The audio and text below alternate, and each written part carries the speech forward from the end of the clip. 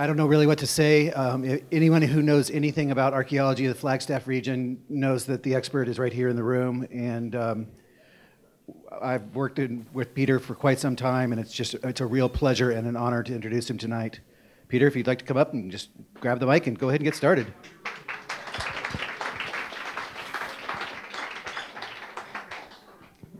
Thank you, Doug. Okay. Uh, tonight, you know, I've been told that my topic is supposed to be connections, connections of the Flagstaff area.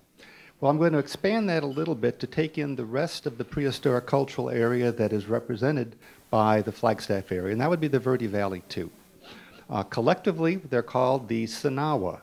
Uh, and always the first question I ask of a group like this is, who knows where that name comes from? Anybody? Right, no water. And that's what everybody usually says when they give talks is that it's named that no water because there's very little water in the Flagstaff area. But you know, let us correct that misconception. Okay, they're named the Sinagua in right after the name the Spanish explorers gave to the San Francisco peaks, the Sierra Sinagua, the mountains without water.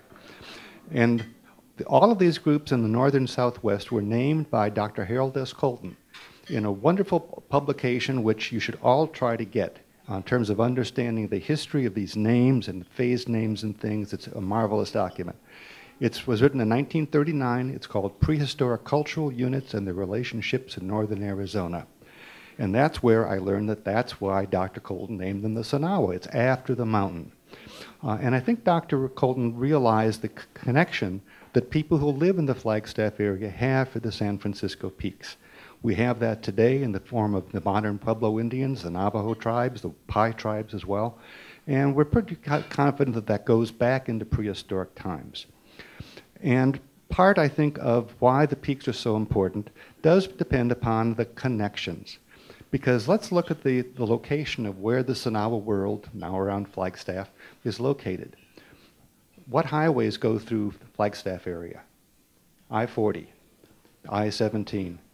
The two, one of the two of the most you know, populated travel ways in the state. And that's just as it is today, so it was in the past. Because basically those highways follow routes that go back into prehistoric times. In a project that we've done looking at the distribution of our projectile points on the forest, we can see these routes represented by the distribution of projectile points through time. And many of them go back all the way to early archaic times. Uh, and I suspect it probably goes back into Paleo-Indian times. So that has meant that Flagstaff has always been an area, along with the Verde Valley, where people have connected through time where people would physically walk through, have face-to-face contact, as well as you know, spreading the information from other areas where they're coming from. And all of this you know, information collecting you know, has come to a head with the development of the Sinagua. Now, another big important event that to understand the prehistory of the Flagstaff area uh, involves volcanology with the eruption of Sunset Crater.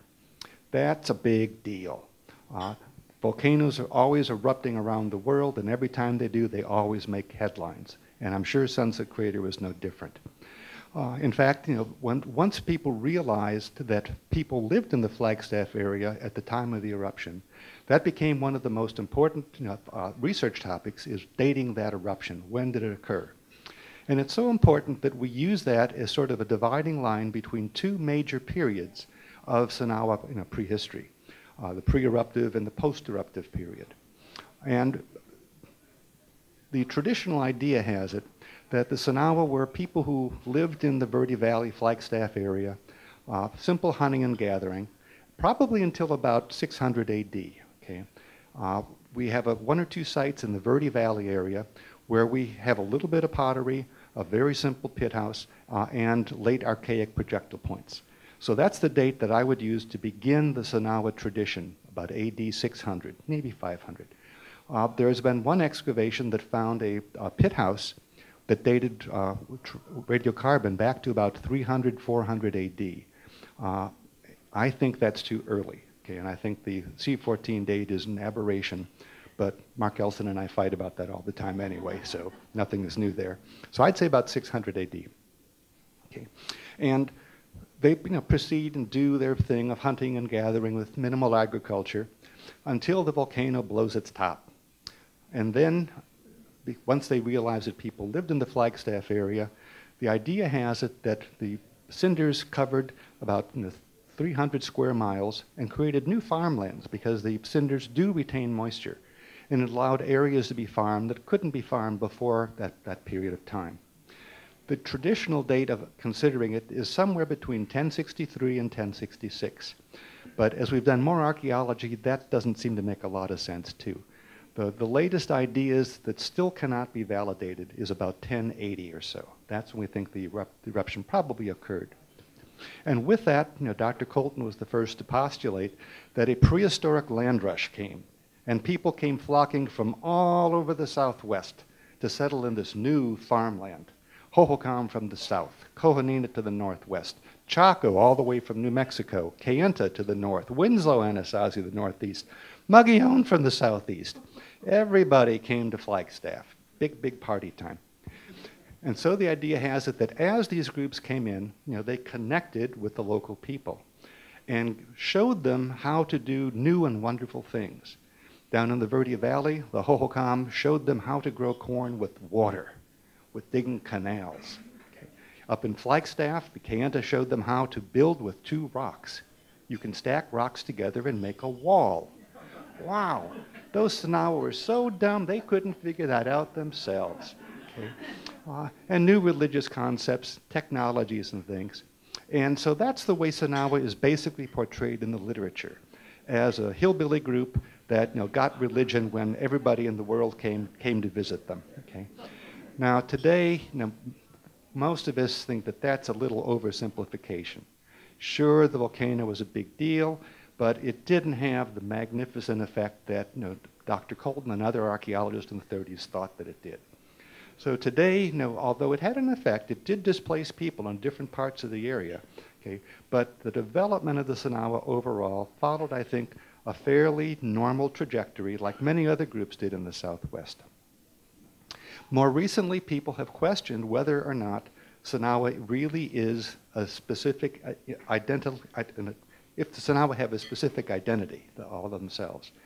And people have waffled back and forth. And even in the early beginnings, they didn't quite know where to put them. Uh, early on, Dr. Colton thought at first they could be allied to the Patayan area, to the western part of the state, but he quickly realized that that didn't work quite well. And he and most other people said, seem to see connections with the Mogollon area. Okay?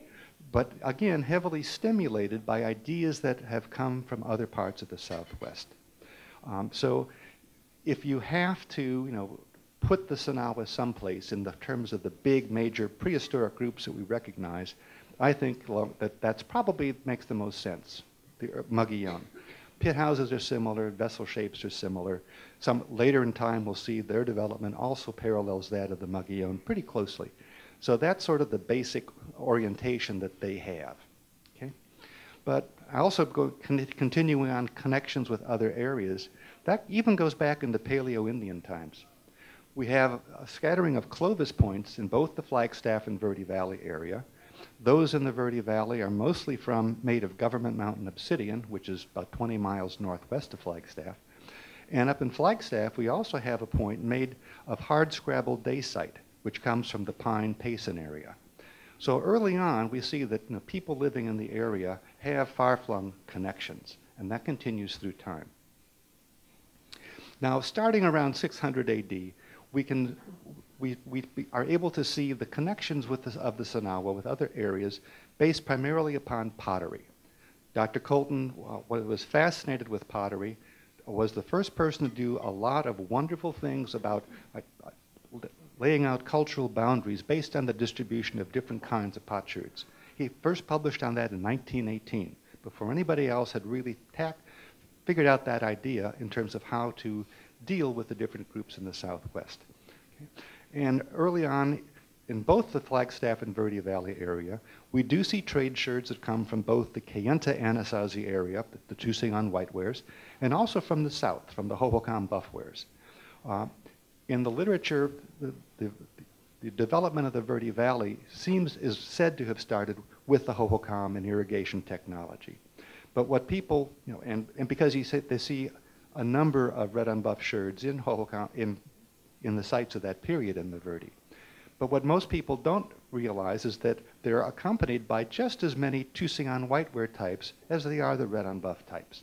And so both areas are contributing you know, to what's happening in the Verde Valley. In Flagstaff, there are a few Hohokam sherds, but nowhere near as many as we see in the Verde. Up in Flagstaff, we see Tusayan whitewares, the Kayenta types of pottery. And what's interesting is as we look at the Sinagua through time, the direction that their tradeware pottery comes from seems to shift. The early times, prior to about, say, 1066, uh, is mostly coming from the Kayenta area. Some from Hohokam, a little tiny bit from Mogollon, but mostly from the Kayenta to the north.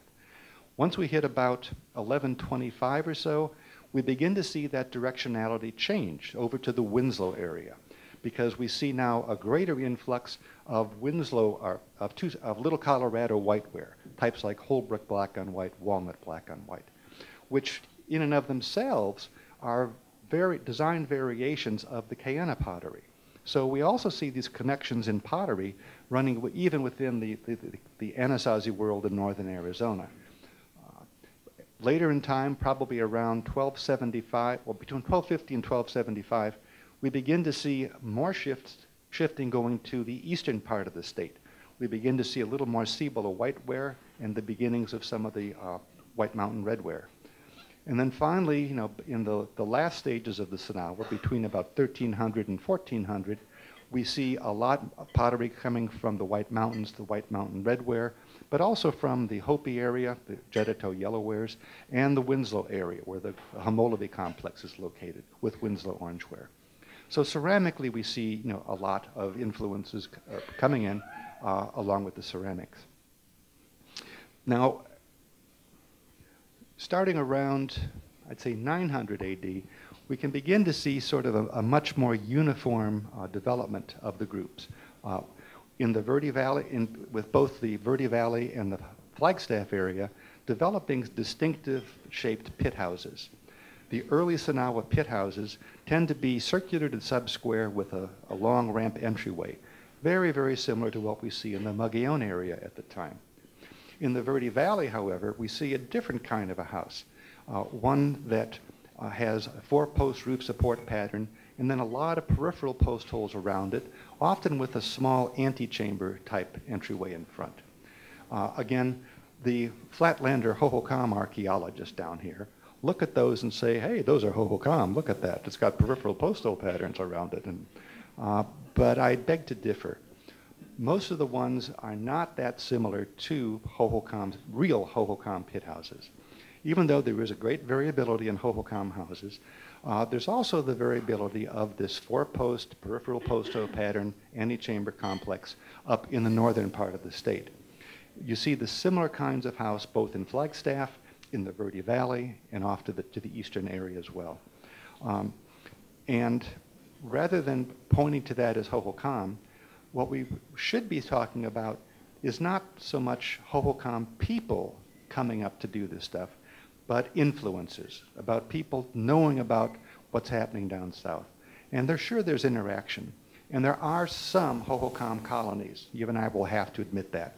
Uh, for example, the best evidence the north is in the Cherry, Dewey Cherry area, where there's a whole site known as the Henderson site that looks just like anything that comes out of southern Arizona. Superimposed two post, post hole pattern support, uh, a number of locally made red on buff sherds, uh, and it looks just like a Hohokam site from the south does. In addition to that, the petroglyphs that occur in that area around Dewey also contain a good number of Hohokam style petroglyphs, especially the Tlaloc you know, type motif. So, and the pottery looks just, shape-wise, looks just like the Hohokam stuff, although it's made of local materials. So in that area, I think we do have you know, some actual Hohokam colonists going.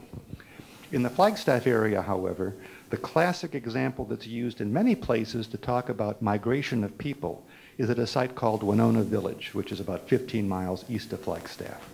In the 1930s, uh, Dr. Colton and John C. McGregor excavated sites in the Winona area and found things that suggested to them that there was at a, at a few places they did find what looked like Hohokam houses with the two post oval shape peripheral post hole pattern. They also found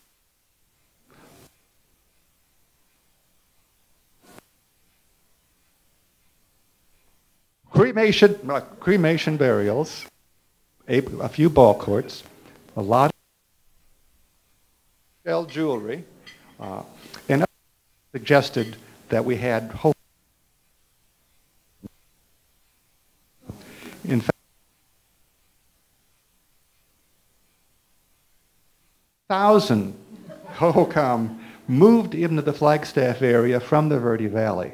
I've never understood how he figured 2,000, not 1,000, not 1,825, but 2,000 Hohokam people. And again, thought to show the influence of the Sunset Crater eruption having people come into the area. They also found that I described a moment ago, the large circular ones, peripheral post holes, four post pattern, uh, in the and attributed that to the Mogollon. They also find masonry dwellings which were attributed to, and so you put this all together, and that led to postulate this migration. And that's sort of in the literature you know, as a classic example of migrations in prehistory. But if you look very closely at the actual data, it's easy to look at a, a broad brush approach and theorize grand and wonderful things. It's another to get down and break the sherds and identify them in details and analyze those patterns to see what's happening. Because when you do that, what we have discovered is that you don't have a full pattern of characteristics that would indicate an actual physical migration of, of colonial people moving into the area. What you see are bits and pieces, and you don't see the manufacturing of goods that supposedly these people were famous for. For example, shell jewelry you know, is known as a characteristic of Hohokam, and it's, it's, it is found in quantity of places in Flagstaff. But when you look at it, you, you, that they're only completed artifacts. There's no sign of shell working or shell tools anywhere in Flagstaff area. Same thing with uh, the red and buff pottery. When you look at the pottery, some of the vessel shapes look like Hohokam with the Gila shoulders on it, but the designs suck. They're terrible. no self-respecting Hohokam would ever do these designs. What they look like is a, a poor attempt to copy some of the northern Kayenta designs, Flagstaff black and white, walnut black and white in particular. And also they're extremely rare. Uh, less than 2% of the pottery at, in the classic Hohokam colony structures in Flagstaff had any of the red on buff pottery. Um, there also were figurines, but if you look at the figurines closely, their style is 200 years off kilter. You know, they, they're, they're, uh, they should be Sacaton phase, but they're not. They're Santa Cruz and Gila Butte shaped type figurines, which just happens to be the kind of figurines that you now find, you find at that time in the Prescott area.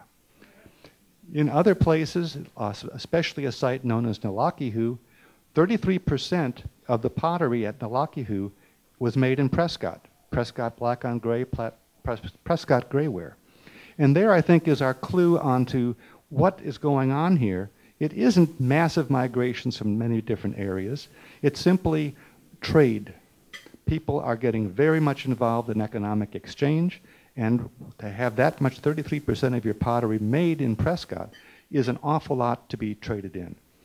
And what we're now seeing in, in other parts of Arizona is that there is a lot more movement of pottery made in outside areas uh, in different places that do indicate uh, colonial movements. Uh, for example, up in the area south of the Homolovi group, uh, we have several sites that have a, a, predominance of Pueblo pottery on them and a very small smattering of the local Sinagua stuff. And the pottery, just like the Prescott, is definitely being made locally in northern Arizona, coming down into the area south of the Homolovi group with late basket maker, early Pueblo I people. So migrations do occur, but they don't occur real manifestations of people, 2,000 people traipsing up into Flagstaff. Okay. okay. Um, now, in the Verde Valley, um, we also see a similar uh, changing of directions uh, of the trade pottery. Uh, it parallels what we see up in the Flagstaff area. Uh, what we also see are characteristics that are found in other uh, areas that the Sinagua are also adapting and modifying into their own you know, particular culture. Now, some of these also seem to be common to other parts of central Arizona. Those, I think, that the Sinagua are part of this broader cultural tradition that we see throughout central Arizona. There are many characteristics that these groups have in common, especially the later in, in time that you go. And I think there really is some kind of uh, continuity on a, a, broad cultural basis uh, through that area. And it's also accompanied by lowland manifestations and upland manifestations. Uh, for example, again, southern Sinagua in the Verde Valley, northern Sinagua up in the Flagstaff area. You have Salado in the Tonto Basin, Salado above that in the, in the, in the White Mountains area. And so we see similarities through there in many things. The, the dominance of plainware pottery, uh, mostly made with paddle and anvil technique, starting somewhere around probably 1070 to 1100. We also see the development of kivas. Uh, and what's interesting about this is that they are not your typical anasazi circular, uh, often with a keyhole shape for it. Um, Sinagua kivas are those like we see in the Mogollon area. They're rectangular. They're rectangular and have a bench you know, raised up in one end of them. And what's interesting is that this is also the kind of, of kiva that the Hopi people have, and also the, the Zuni, the Western Pueblos.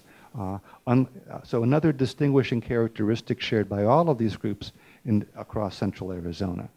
Uh, kivas have not yet been recognized in the Prescott area, uh, but as we do more excavation work, I would predict that we'll see rectangular kivas there also. Okay? And if, okay, so, so after the eruption, we also see a shifting of, of populations, uh, again, to get out of, of the cinder zone.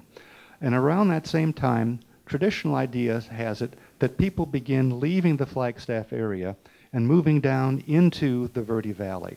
And once again, architecture has been pointed to as being an example of that. Again, the old concept is that the local folks made pit houses until somebody came in and showed them how to build pueblos.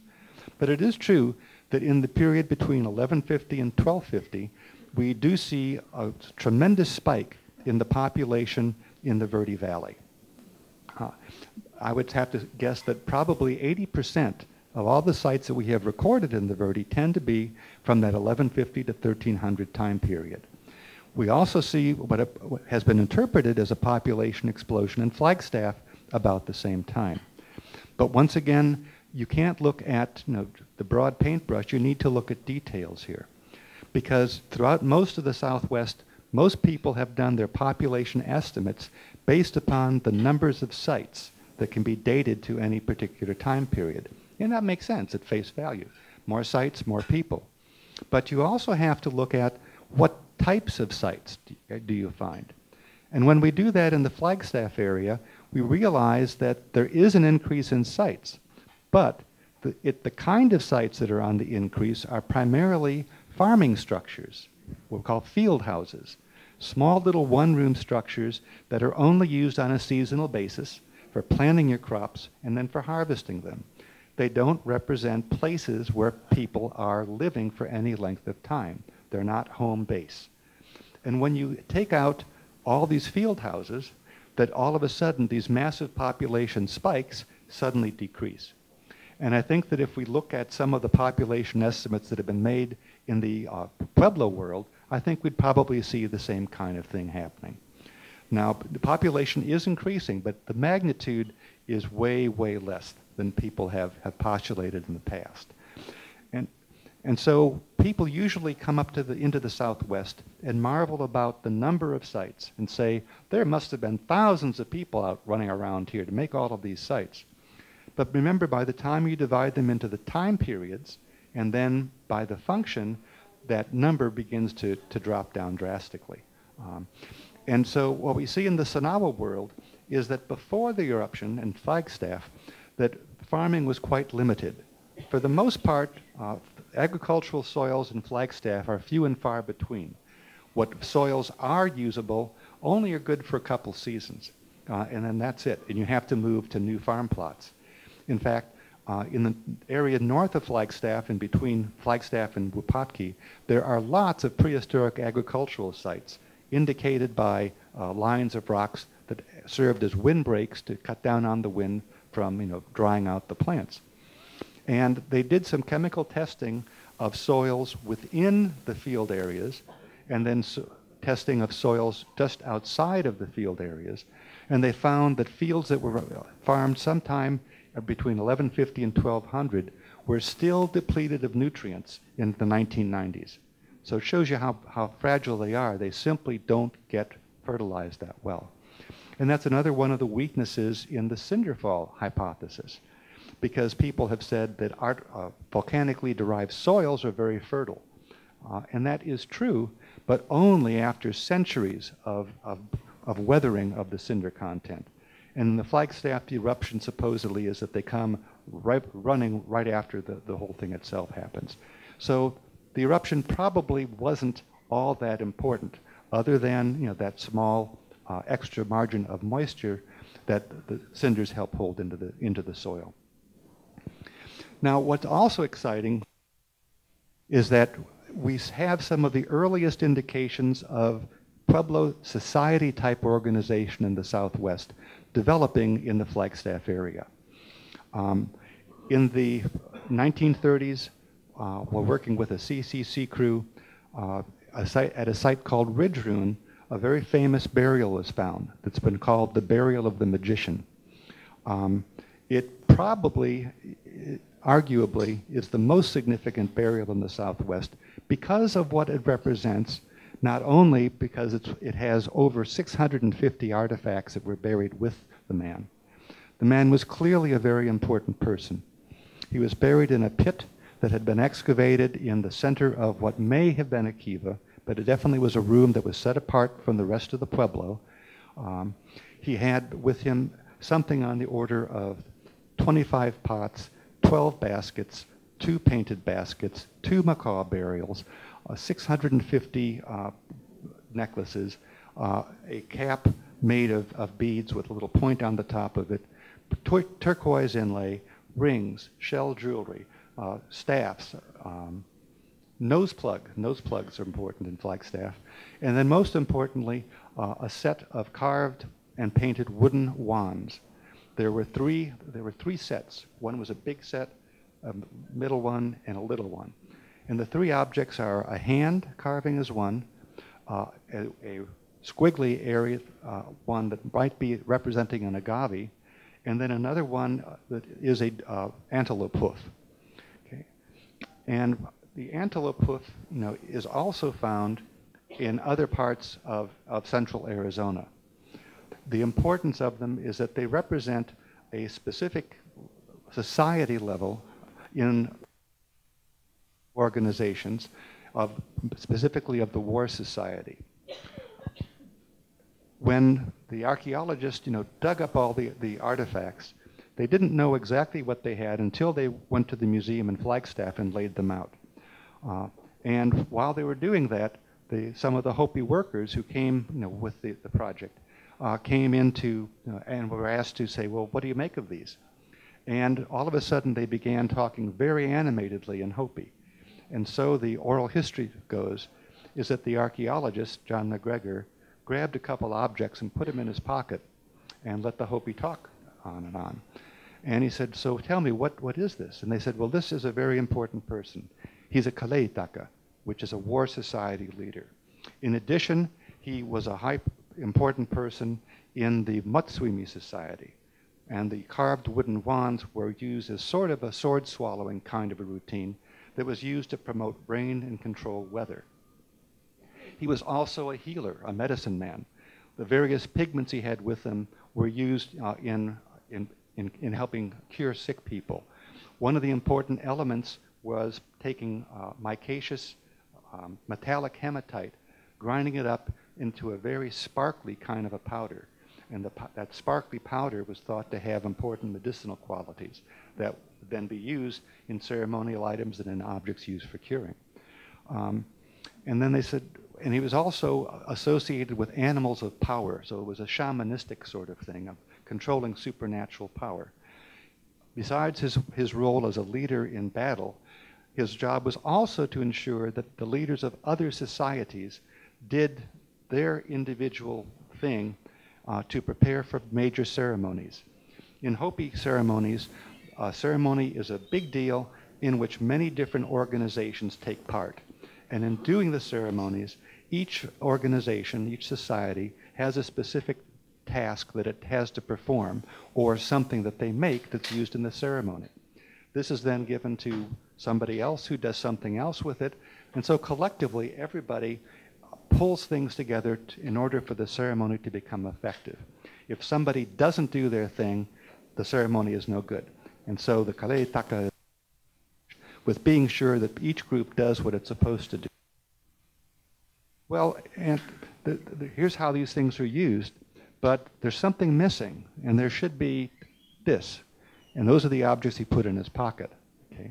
So in terms of Hopi Sinagua continuity, you can't ask for much, much better than that. Uh, and as I mentioned before, antelope hoof is also found in the Verde Valley at several sites, and in one or two other sites in the Flagstaff area, and one in the Prescott area. So what this suggests is that here's a, an organization, the War Society as well as the other related ones, that are not only found in Flagstaff, but they're shared with other groups as well. Okay? Uh, so again, connectivity between central Arizona having uh, common kinds, in part, common religious associations. Okay? Now, starting around uh, 1250, uh, rather actually about 1275, we begin to see difficult times in Flagstaff, and there's a major shuffling of the population. Like mother, any parts of the Southwest, we see that there is a contraction of the population into small, smaller numbers of sites, but they're bigger sites. Um, and we see this, as I said, throughout the Southwest. Uh, a difference between Flagstaff and other parts of the Southwest, however, is that our Sinagua large sites aren't all that great by other Southwestern standards. Uh, several years ago, there was a conference uh, sponsored that wanted to examine Pueblo 3 sites in the whole Southwest. And so various regional experts pulled all their data together to be able to characterize what the Pueblo 3 period was like in their areas. Okay, and so I did that and pulled all together our data and went to the conference. And you know, the Mesa Verde folks got up. Yes, our average size site is about 250 rooms. Chaco people get up. Yes, our average size is about 800 rooms in other places. Mesa Verde or northern uh, San Juan area. Oh, we have about 1,200 rooms in our typical kinds of sites.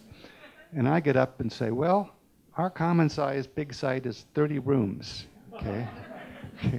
and it really is out of sync with most of the rest of the Southwest. But that's just one thing that makes us special. Um, but nonetheless, you know, the, the concentration of population is what we see happening. Some people, and a number of these sites tend to be located on high hilltops, which some archaeologists view as a symptom, symptom of hostility and warfare pervading the, the Southwest. Uh, we know that that was true to, to, a degree, but I think it's been over, overemphasized by, by many people. Um, it's, also, it's also characterized by some real migration. We have done a lot of research on, especially uh, desert archaeology, Archaeology Southwest has been doing a lot with the movement people, you know, in, in over through, uh, as associated with the, the rise of the Salado polychrome pottery. However, you know, this does not seem to have affected the Flagstaff area or the Verde Valley.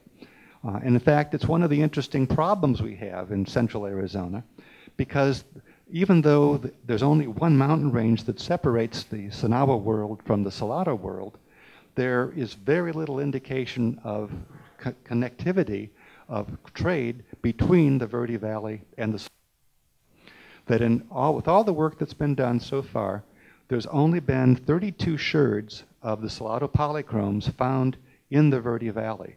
And most of those are half a bowl that was broken up at Montezuma Castle. It's not there. We begin to, and what's also interesting is where we do pick up a few of those Salado polychrome sherds, it's in the south end of the valley, down around uh, the East Verde area. And there's also an architectural difference as well. Um, Sinagua pueblos tend to be a solid block unit pueblo. It's just a mass of individual rooms. Whereas Salado often have courtyards, you know, or you might call them plaza area, open areas as well. We do have a small number of plaza-oriented or court, some courtyard ones, but those also tend to occur in that lower end of the valley. So there's a little bit of con- contact there, but very, very little considering how widespread and how popular Salado polychromes have been. So there's one of our big questions is why isn't there more interaction between these groups? Because elsewhere in the Southwest, we see lots of Jeddito yellowware from the Hopi Mesa country, along with the Salado polychromes over central and southern Arizona as well. So that's one of our, our big issues. But you know, by 1300, this scattered, you know, population aggregates into even smaller numbers of pueblos, but again, bigger ones. And this takes, is true for both the Verde and the Flagstaff area. In the Verde, it's called the Tuzigoot phase, and that's the period when we have the large sites like Montezuma Castle, Tuzigoot, Hatalacva, um, Clear Creek Ruin. And up in Flagstaff, we don't have any at all. There's only one site that's left in Flagstaff by 1300, and that's Old Caves Crater. Only one. The rest of the people seem to have moved down into uh, about five or six pueblos in the area called Anderson Mesa, which is a big landmass that's directly south of that extends from roughly Flagstaff all the way to your crater. And in that area, we see sites like Kinnickinnick, Grapevine Pueblo, and most importantly, our really big crown jewels, the site of Chavez Pass, or Nuvakwewtaqa, as it's known to the Hopi. What's really fascinating about Chavez Pass sites is it, it consists of three large pueblos. Of those, two of them are right next to each other on a single ridgetop. One of them is a typical Sinagua pueblo site with large, you know, single mass dwellings, block pueblos. The other one is a definite plaza arrangement.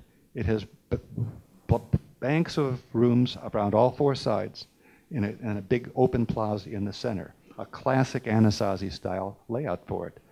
But in the corner of that plaza is a large Sinagua style community room.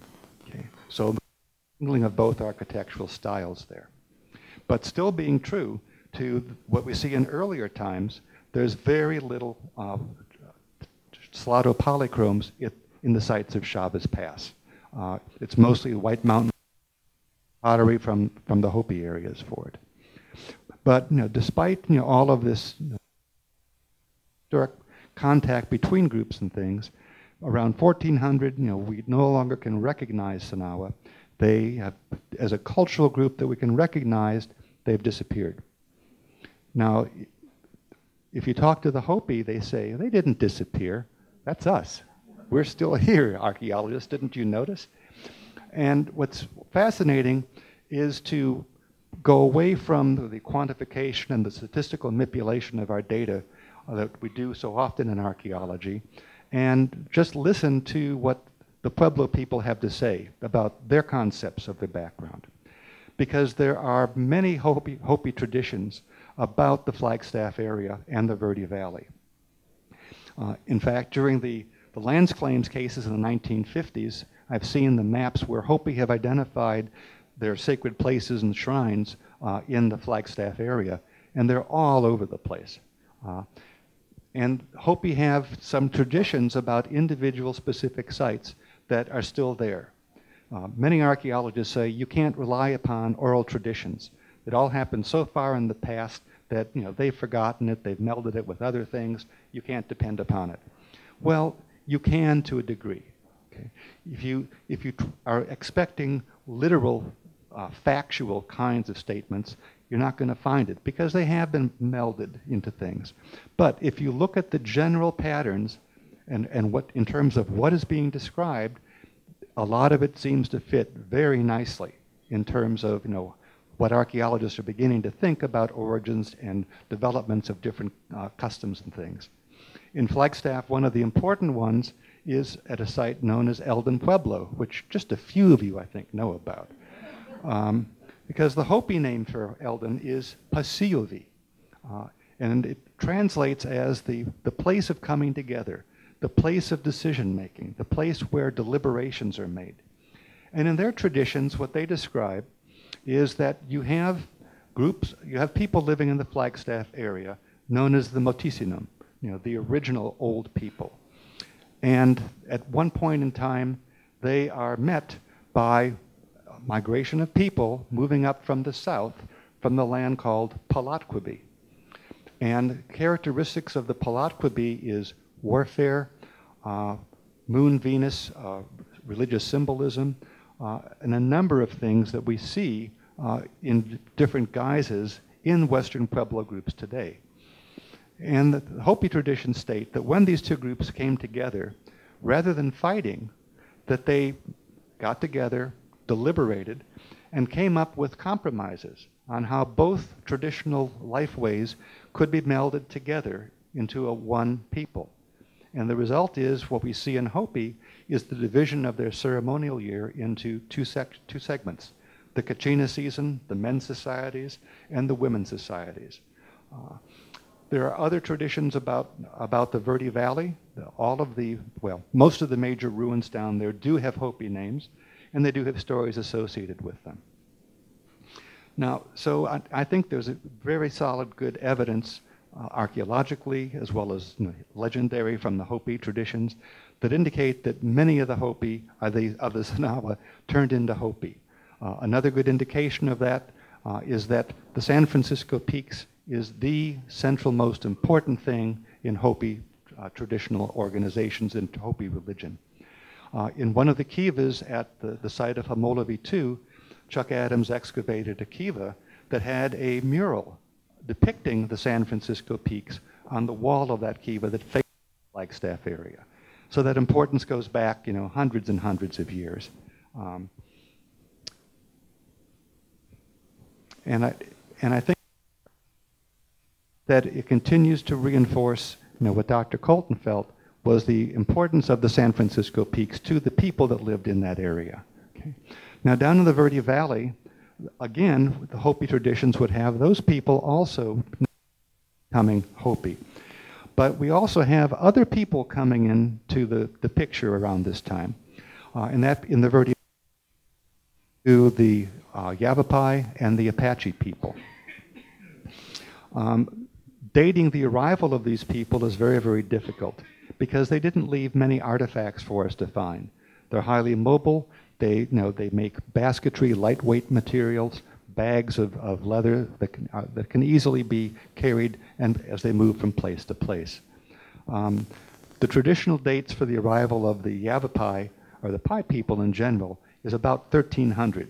Uh, and it's been pointed to for many years as a potential source of the supposed warfare that took place in the Southwest around this time.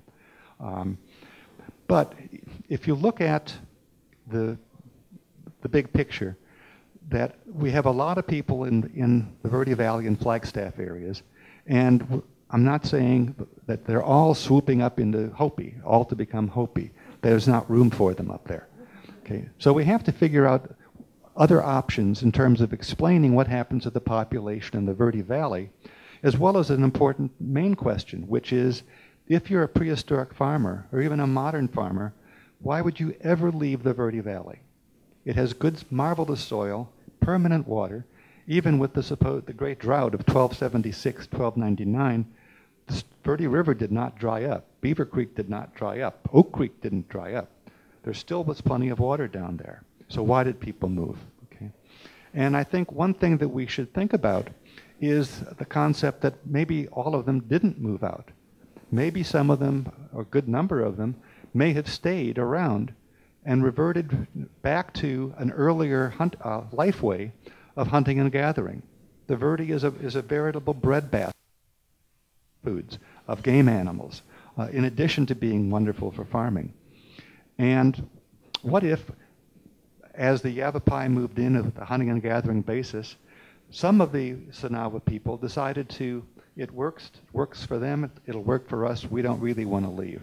And I think it's quite likely that many of the southern Sinagua may have turned into you know, Yavapai, of adapting yet a whole new. So just as we see many of the, the people of central Arizona converting to a new lifeway pattern, abandoning their previous cultural activities and becoming Hopi, I think we may have be seeing the same thing in the Verde Valley in terms of the origins of the Yavapai people. So, you know, very briefly, you know, that's sort of a thumbnail sketch for you of the what we see happening in the Flagstaff and Verde Valley, you know, through times. Uh, it's a fascinating that still has many, many unanswered questions. Uh, but like everything else, the more we look at, the more we learn, but also the more questions we have. And I think one of the joys of working in that area is being able to discover these little gems uh, and facts, research, uh, working on archaeological collections, and most important, archaeological survey work. So, any questions?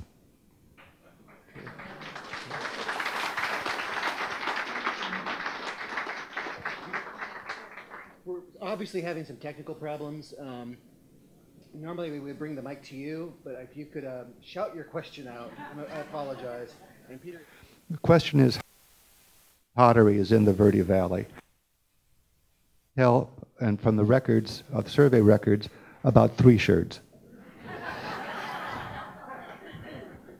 one of the, uh, let's see, one comes from the Clear Creek ruin, one comes from the Page Springs ruin, and I forget where the third one comes from. Question is, uh, the, what's the difference between a colonial manifestation and getting uh, kicked out of an area? I would answer that. People move for a number of reasons. You know, they can be kicked out. They in agricultural societies, there's no land left to divide among the, the sons as you go through time. And so they have to move out simply to find new, new. Others can, can move for religious reasons. Uh, there's many reasons why people move. Uh, the, trick, the trick becomes how do you recognize a physical movement as opposed to other mechanisms that bring these kinds of concepts and artifacts into, into the area. Uh, and that's something that we still have a lot of work to do on how to define those differences.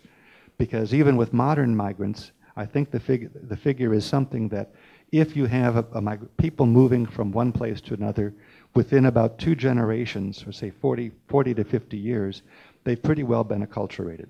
And so, from an archaeological perspective, that's a pretty short period of time to try to, to recognize you know, the first order of migrant groups.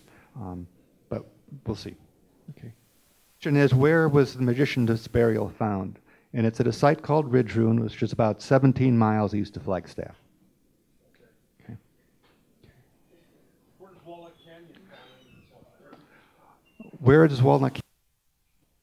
Uh, Walnut Canyon is primarily occupied uh, starting around 1100 AD and lasting till 1250 or so.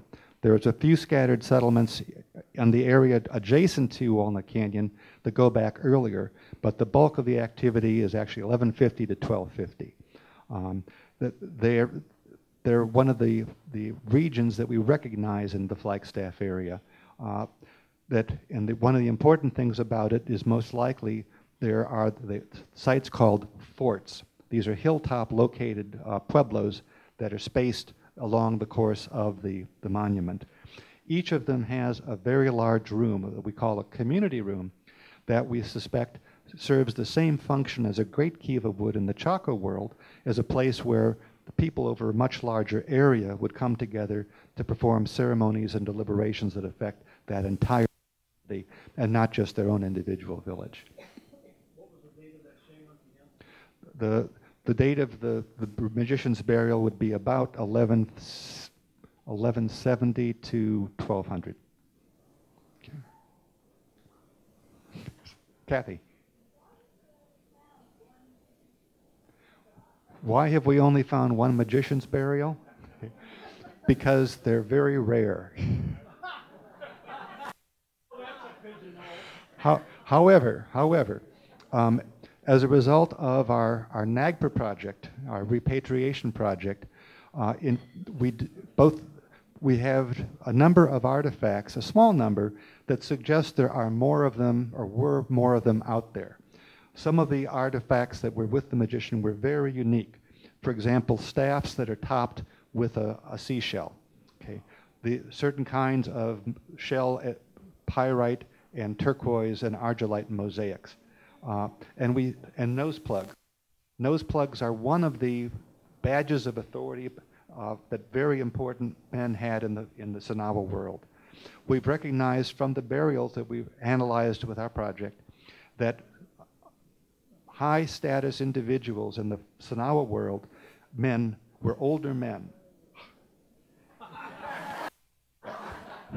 In the in the Anasazi world, they tend to be older women. Okay. But in terms of the high status males, nose plugs and carved bone hairpins are very, very distinctive and diagnostic for them. So those are the ways we can recognize people. And, we, and as I said, we have found other objects like that in mostly pot hunted collections. So they were there, we just haven't found them from an archaeological site. You cannot see the facts because they've all been reburied. Okay, okay. Uh, but it's part of the NAGPRA process. You, there is a report with, that has many of them very beautifully illustrated with artist reconstructions. It's a publication 1943 by John C. McGregor, Burial of an Early American Magician. You can probably find it online. Okay. Not only did the magician have, a, it was also a pretty large one. It's one of the largest ones that have been found. But again, other high status burials in the Flagstaff area also have nose plugs. And they, that's, where, that's where they tend to be found when, they're, when we find them with, with burials or with older important men. Okay. In terms of other high status burials from the Southwest, there are a number of them. There's, uh, there's about two or three in Chaco. There's uh, one from Point of Pines. There's one or two at Grasshopper. Um, there, they're around. Okay. Okay. Well. Thank you, Peter. I certainly learned something.